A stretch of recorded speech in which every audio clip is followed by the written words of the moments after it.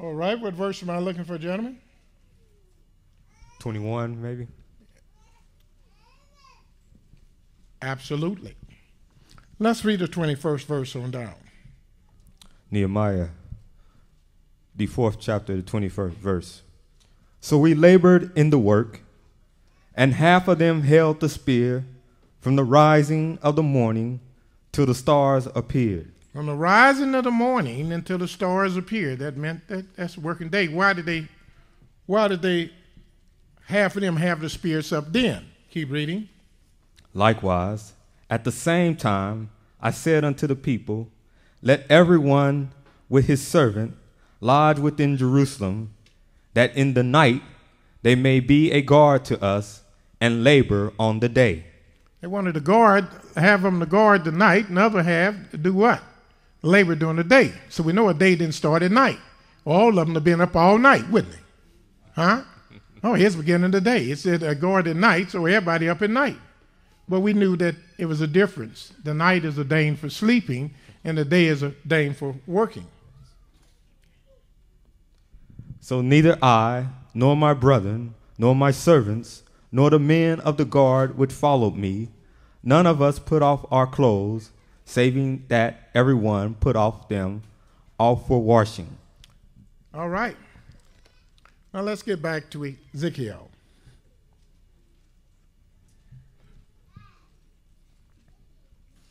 And it reads again, Ezekiel 46 and 1. Thus said Yah Elohim, the gates of the inner court that looketh toward the east shall be shut the six working days.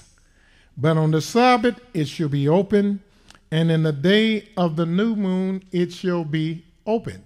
The day of the new moon. So the question is, how many New Years did we have? Huh? One. How many Yahwehs did we have? And how many new moons did we have every month? So what does that do if I had a calendar says every 28 days?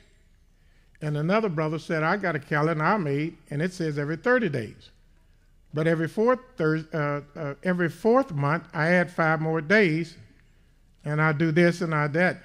And then another brother said, Man, I'm going by the new moon. Then the other brother said, Well, your new moon does not coincide with my calendar. Do you understand why the Almighty wants us to go and meet every new moon?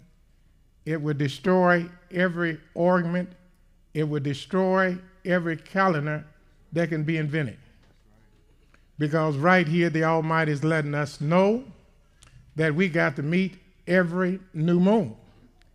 Not every calculated new moon, not every new moon our calendar dictate, but every new moon that's written in the sky.